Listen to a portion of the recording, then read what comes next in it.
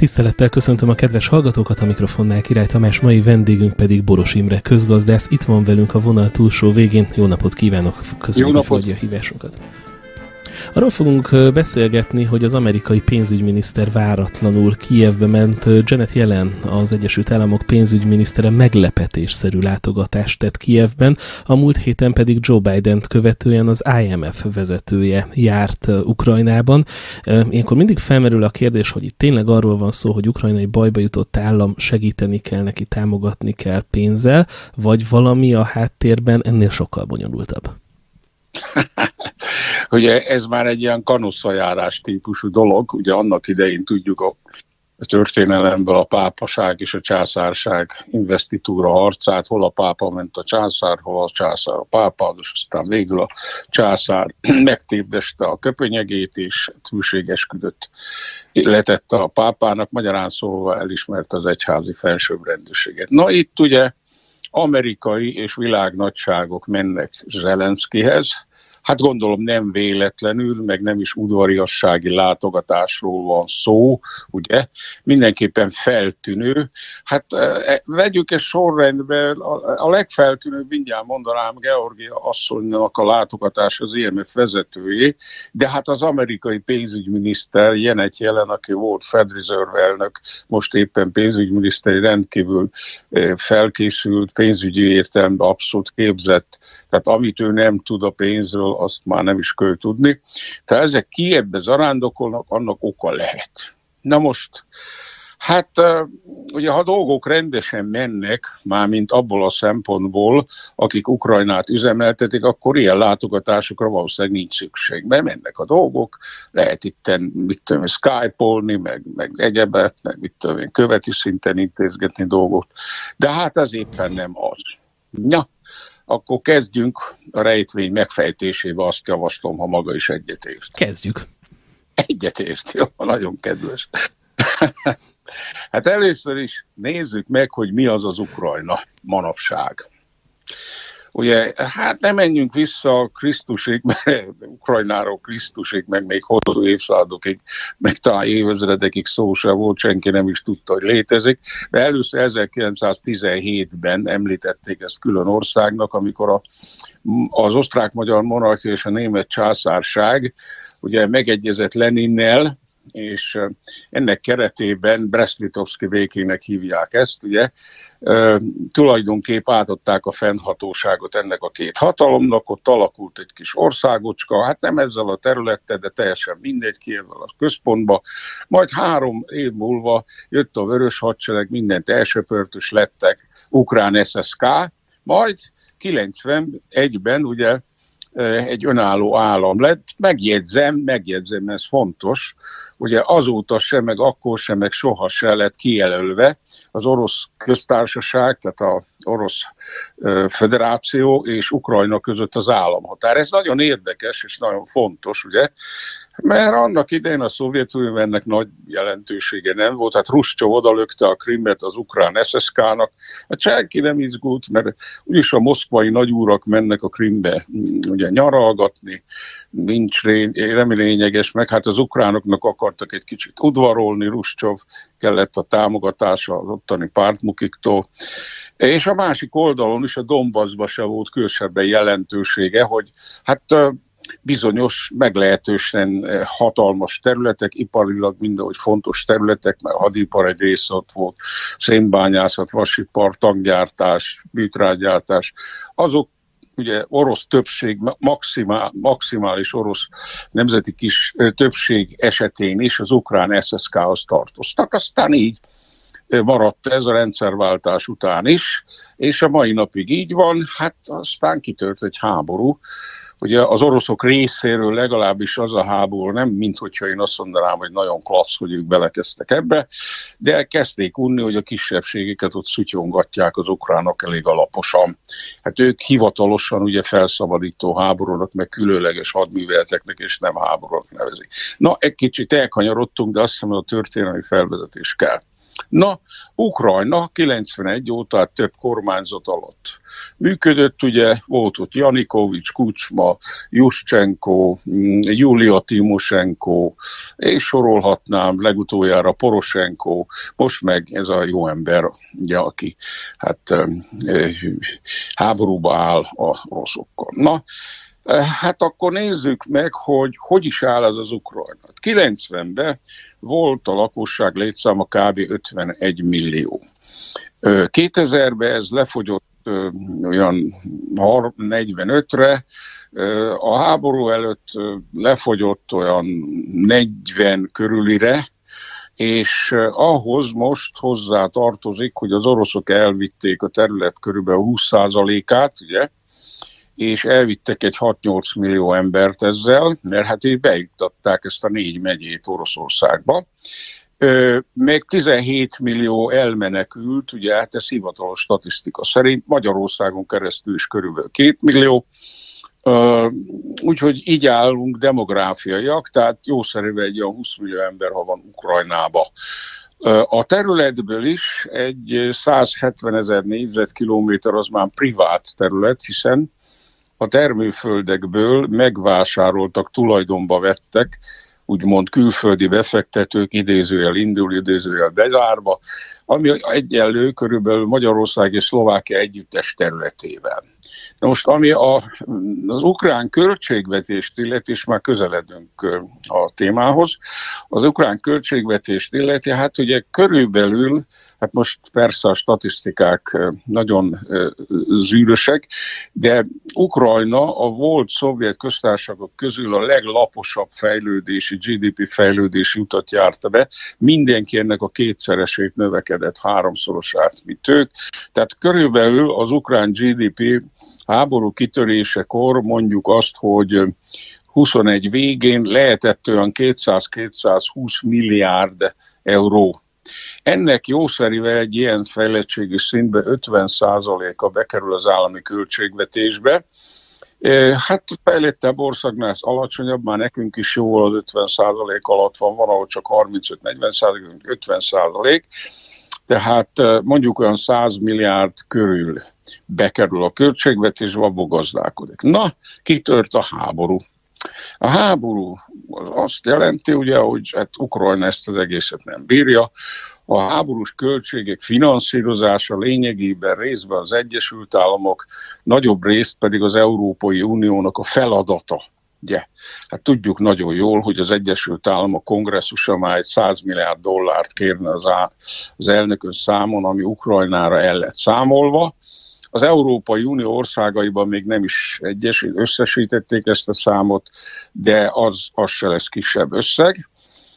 Magyarán szólva az ukrán állam az így működik, sőt, ugye 23-ban vagyunk már, 23-as költségvetés, ez az európai országoktól összetarháltak 18 milliárdot, ugye?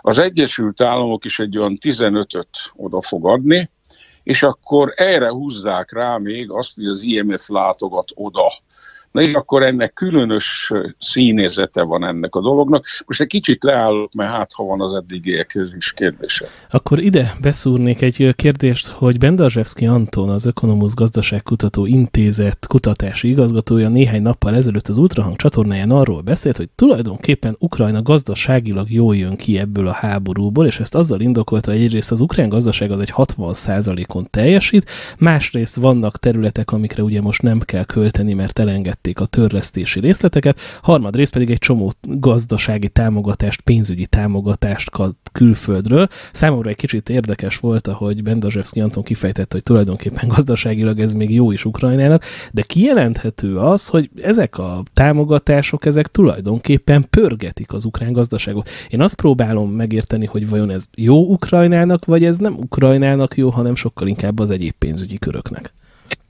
Hát én ezt a szakértő urat nagyon nagyra becsülöm, de amit elmondott, azon, azon maximum nevetni tudok, vagy inkább így, így kényszeredetten nevetni. Hát egy állam, amelyik harcban áll, hadjáratot visel, óriási hadserege van, hatalmas kiadásai, területének 20%-át elfoglalták, 80%-át bombázzák, a közrűmei tönkrementek, az marha jó jön ki gazdaságilag. Ez aztán tényleg egy komoly elemző munka.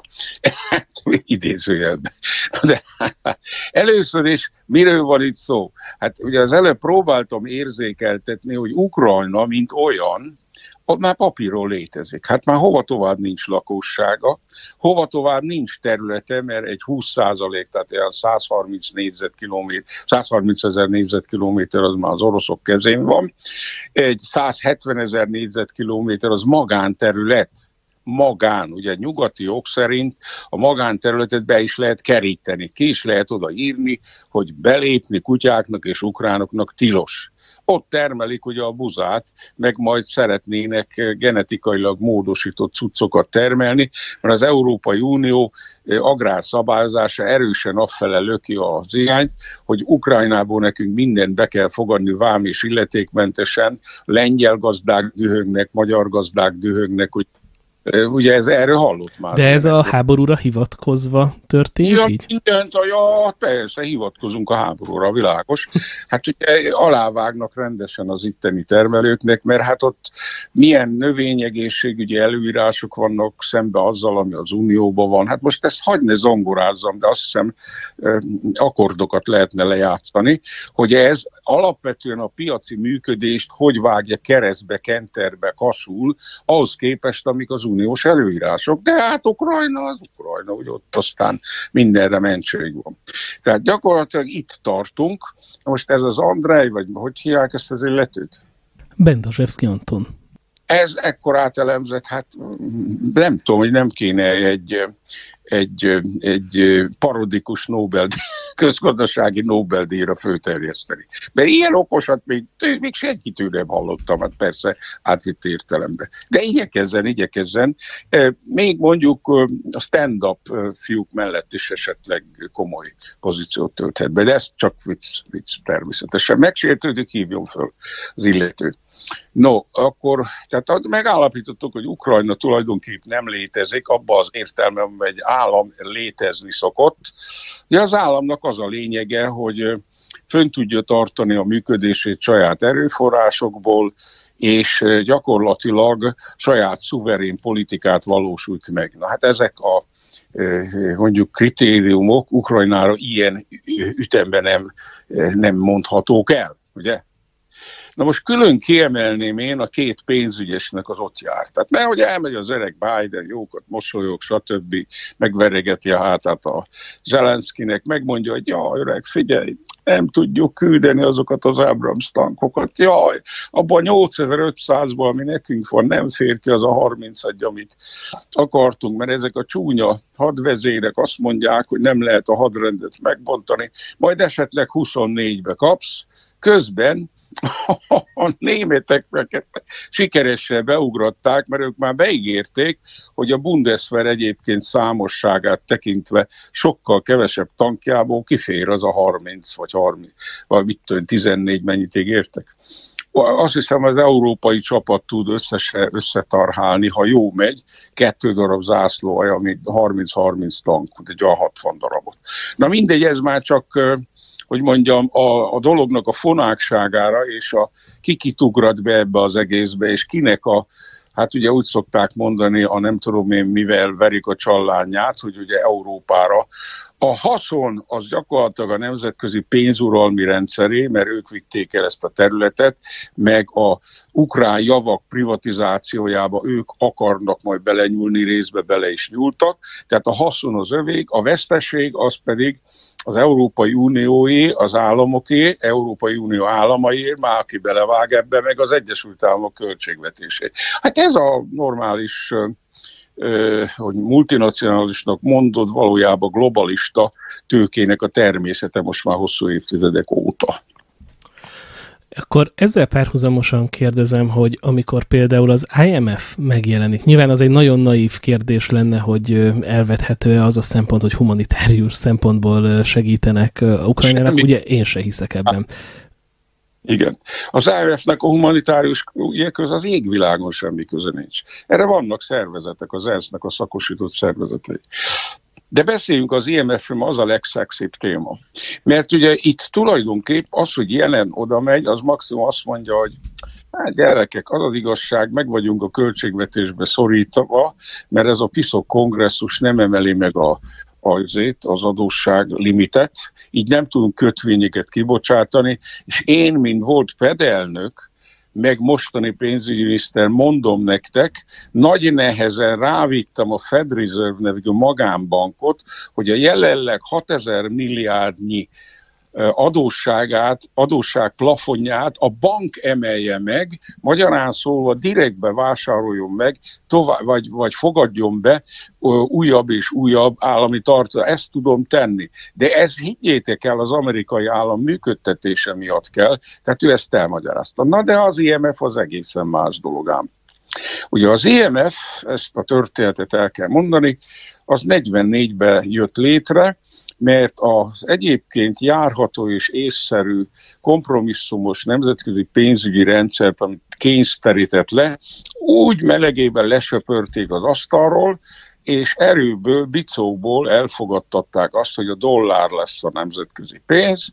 A dollárért, ha egy központi bank megunja, 35 dolláronként adunk egy unci aranyat, és akkor ez így nagyon klassz lesz. Ezt hívták arany eh, standardnek, de soha az életben nem is valósították meg, és hogyha kérte valaki, mint a De Gaulle a 70-es évek elején, vagy 60-as évek végén, azt lesöpörték a pályáról.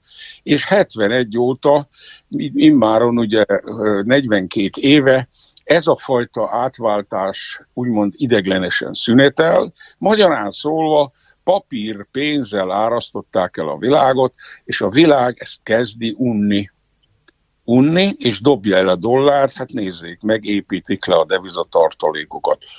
Hát az, hogy az oroszok méregből leépítették, az rendben is lenne.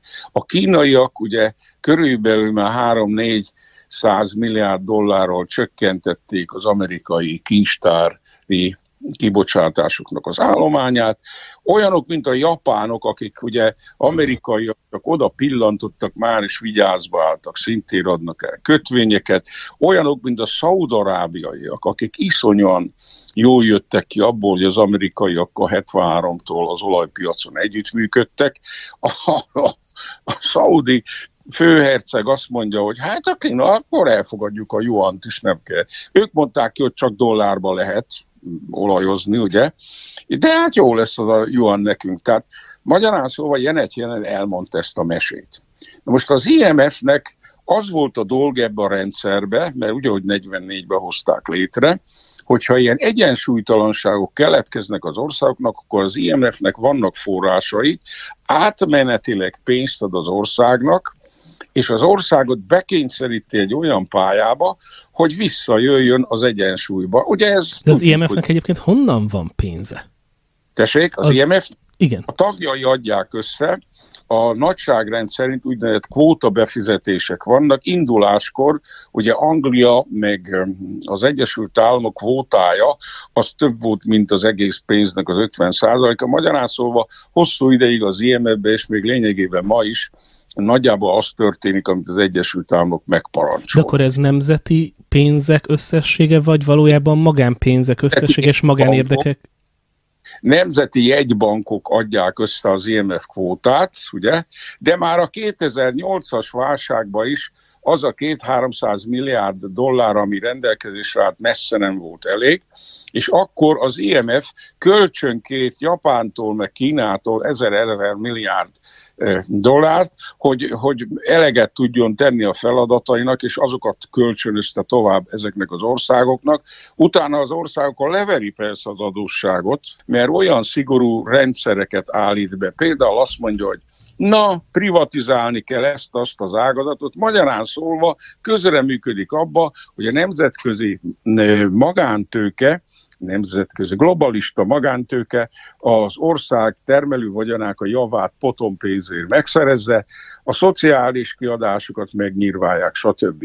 Mert én arra emlékszem, amikor még Magyarország ugye az IMF-fel ilyen yes. komolyabb viszonyban volt, hogy állandóan azt várták tőlünk, hogy legyenek megszorítások, a költségvetési hiányt itt meg ott tartsuk, és azért az is látszott akkor, hogy ezt sok esetben politikai célokra használták, ami nyilván valahol valakinek meg jó, hogyha, és nyilván nem a magyaroknak jó, hogyha úgy döntenek. Tehát azért ez az egészen elképesztő cinizmus, hogy nemzeti bankok pénzeiből ilyen magánpolitikai érdekeket szolgáltatnak ki azért, mert a hitellel tudják zsarolni az országokat. Ez pontosan erről van szó, és hogyha az ország nem paríroz, nem csinálja meg, akkor a következő részletet nem adják oda, és akkor fizetésképtelenség fele zötyöghet az ország. Hát ezt a magyar baloldaliak mondott valóságban liberális és globalista kormányzatok, ugye az SDS volt az abszolút globalista, ő egy teljes globalista csapat volt, ők irányították a rendszerváltás gazdasági részeit tulajdonképpen 2010-ig. Azóta kezdődött el valami más. Egyébként különbséget valami... kell tenni a kapitalizmus és a globalizmus között, hiszen én az SDS-ben azért persze. láttam egy ilyen, egyfajta ilyen naív kapitalizmust is, ami aztán nem vált be. Hát az az igazság, hogy kapitalizmus egyfajta van. Hát most akkor mondani két szélső példát. A harmadik birodalomban működtetett rendszer is kapitalizmus volt, és tulajdonképp a Szovjetunióban rendszeret működtetett rendszer is x évig, 70 évig lényegében a világ globalista kapitalizmusának a függvénye volt. Ugye hagyd ne mondjam, hogy hogyan sikerült végül is a Szovjetuniót a korábbi szövetség és a nácik ellen átlátítani. Hát a pénzen keresztül. De most ebben nem menjünk bele, mert ez egy, mondjam, egyrészt nagyobb nekifutást igénylő téma. Tehát kapitalizmus is többfajta van, többfajta lehetséges, ugye, és ha ezt valaki a jelenlegi körülmények között a nemzetét boldogító módon akarja üzemeltetni, na akkor azt kiüldözik a, a paradicsomból. Akkor arra mindent rányomnak. Van egy-két ilyen rezsim, ugye eh, mondjuk azt, hogy mi is közébük tartozunk, amikor a nemzeti jólét emelkedik, mint mondjuk 2010-től mostanáig, és nem kapja meg a világ globalista, arctalan tőkéje azt a hasznot egy országban, amit korábban szokott, akkor minden vagy, csak úri ember nem. Ezzel párhuzamosan én még egy szempontot behoznék, ez pedig az, hogy különböző cégek felminősíteni, meg leminősíteni szoktak országokat. Magyarországot most éppen leminősítik, ugye több ilyen pénzügyi szervezetek is, hogy ez a valóságban mennyire ö, reális dolog egyrészt, mennyire szolgál politikai eszközöket, és van-e hatása a leminősítésnek, meg a felminősítésnek, akár a mi gazdaságunkra, akár más országok gazdaságjaira? Az a helyzet, hogy bizony-bizony időnként, hát ugye pestésen szóval pofára mennek ezek a dolgok. Hát emlékszünk, amikor a Orbánt megelőző balliberális brigád volt itt, adósságot adósságra halmozott. Hát maga Feri mondta összödön, hogy miket csináltak. Érdekes módon meg se rezdültek a minősítők. Emlékszünk erre? Úgy, hogy közben gazdasági válság is volt. Úgy van, közben döngettek ki az IMF-hez 20 milliárd dollárért, Magyarországnak a kvóta részesedése alapján maximum négy járt volna csak úgy mondanám, azon nyomban lenyomták a gombot 20-ra, és már is kijelentették, hogy az első legnagyobb trans a bankokat illeti, ha azok bajba kerülnek. Emlékszünk még erre? Abszolút.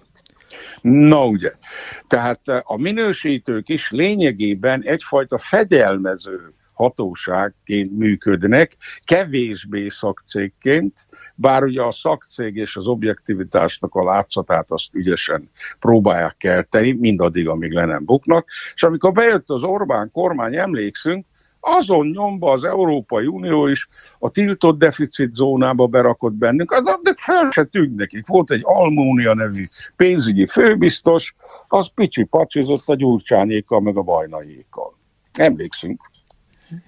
Szóval gyakorlatilag ez lényegében a nemzetközi pénzfőhatalom, a magánpénzfőhatalom fegyelmező intézményei, főként ez a három nagy mert az az övék is, ugye tulajdonilag is, mindenféle offshore, meg mindenféle keresztül, és A nagy hitelezők, akik egyébként ki lenne más, mint ők, azok csak ezeket fogadják el. Hát van még egy csomó minősítő, de azoknak, hát az nem, az nem érdekes, ezt nem fogadjuk el. Hát így működik. Na, egy... Na most visszatérve Ukrajnára, ugye ha az IMF oda valami 15 milliárdot be akar dobni, az ukrán gazdaságnak se távol, se közel olyan ereje, lehetősége nincs, hogy azokat a kiigazításokat elvégzi, ami alapján az ukrán gazdaság egyenesbe kerül. Magyarán szólva az IMF-nek, ha odaadja ezt a pénzt, be fog dögleni, és attól tartok, hogy nem a kiigazításokra, hanem a folyó költségvetés kiegészítésére fogják használni, és e felett szemet fognak hunyni. De várjuk ki a végét, mert lehet, hogy valaki bekontráz, mert már az ilyenetben is a kínaiak is, meg mindenki más már néha úgy felemeli a szemöldökét, hogy azért ez nem lesz jó. De az, hogy ott járt ez a Georgieva, ez rendkívül érdekes, és a szokásos menettől eltérő ügyintézést valósít, valószínűsít. Számomra egyébként az az érdekes, hogy ugye a fő vezetők mennek, tehát a pénzügyminiszter, az IMF-nek a vezetője, akkor korábban ugye a BlackRock-nak a vezetője, tehát legfelsőbb szinten kezelik ezt, és ugye önnek is volt egy olyan utalása azon, hogy ne videokonferencián, meg nagy követeken keresztül Persze. üzengessenek egymással, hogy ilyenkor a háttérben oda lehet szólogatni Zelenszkinek, hogy amúgy ez az érdek, ez így kívánja, meg ezt még amúgy intézzük, zajlanak ilyenkor ilyen tárgyalás? Mondjam, ilyen néz, de hát nem annyira dörgő politikus. A múltkor es el is mondta, hogy milyen jó paroláznak ők a BlackRock-kal. Hát a BlackRock az egyik legnagyobb intézményi letéteményese a nemzetközi globalista tőkének. Tehát a nemzetközi globalista iszonyú BlackRock, meg egyebek, hát mondhatnék még egy-két alapítványt, alapot ugye van, vagy 6-8-10, de a BlackRock most pillanatnyilag ott van, de Ukrajnában nagyon örültek neki, hogy fú, itt BlackRockozunk, milyen klassz lesz. A BlackRock közt megmondja, hogy mit akarok elvinni, az IMF meg adott esetben bekényszeríti, nem is nagyon kell Ukrajnát, hogy az meg legyen szavazva. És kész, ennyi. Milyen egyszerű. És aztán Ukrajna, hogy szétesik, vagy mi lesz vele, az egy következő történet, mert nyilvánvaló ott abba a tűzbe nem csak az amcsik tartják bent a vasat, hát az oroszok egyértelműen természetesen, mert ők, amit úgy gondolnak, hogy az övék, azt ők effektív is akarják foglalni katonailag. Ez teljesen világos. A jenkik meg azon vannak, hogy az Európai Unió pénzét nem az övékén, ha lehet, akkor ezt megakadályozzák. És Amerika, ugye azért Amerika a saját nemzeti pénzéből is ad elég sok pénzt, bár lehet, hogy ez meg a fegyvergyártás területén vissza is megy nekik a különböző fegyveripari cégekbe. Csak na, na, várjuk ezt az Amerikát. Van egyrészt a nemzetállami Amerika, meg van az az Amerika, aminek a költségvetése, ez a világbirodalmi Amerika, aminek a költségvetése bele van burkolva az amerikai költségvetésbe. A világbirodalmi Amerika hova tovább felemésztette a nemzetállami Amerikát, mert a nemzetállami Amerikának ma valamivel több az összadóssága, ez áll a szövetségi állam, az államok, a, a városok, a, hogy mondjam, a nyugdíjalapok adósság, ez most már fölülmúlja az összes Amerikában fellelhető vagyonpiaci értékét. Tehát a nemzetállam vagyonát fölélte a világállami Amerika. Ez a pénzügyi helyzet. Ezért is akarnak valamit kihozni, tehát a permanens háború arra jó, igen, hogy ezek a nagy cégek azért működjenek, munkát adjanak, és akkor valahogy elketyegjen a nemzetállam is.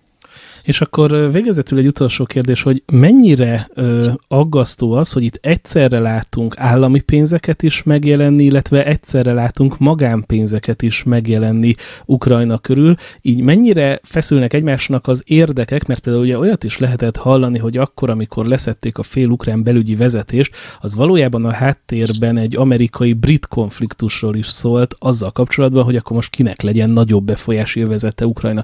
Ha egyszerre megy oda a Black BlackRock, az IMF, a különböző országok pénzügyminiszterei, akkor nem félő, hogy még egymásnak is nekiesnek, miközben feldarabolják éppen ezt az elég gazdag koncot egyébként? Hát helyel közzel privát érdekeltségek is ütköznek természetesen. Hát ugye mindenki szeretne például, vagy szeretett volna olcsón ukrán termőföldhöz jutni, ezt a BlackRock nevű cica elvitte, ugye kész, puff. Azt lebizniszelték az Zelenszkivel, mert az Zelenszki megváltoztatta a földtörvényt, lehetővé tette külföldi társasági földtulajdonlást is, pont. Az állami földeket eladta, slussz. Ott már nincs mit keresni, de egyéb más helyeken például BlackRock által vezényelt cég, mondjuk azt, vasipar mondanék egyet, ukránok ugye elég sok acél termeltek, hát ugye az Azovstál az most pillanatnyilag nem működik, de akik van más is, és például egy brit acélipari cég egy ilyen BlackRockistával összecsaphat. Ilyen, hogy a marginális konfliktusok természetesen vannak, lesznek, voltak mindig is. Hát kíváncsian várjuk a folytatást, és figyeljük, hogy mi történik. Boros Imre, köszönjük szépen, hogy. Minden jót!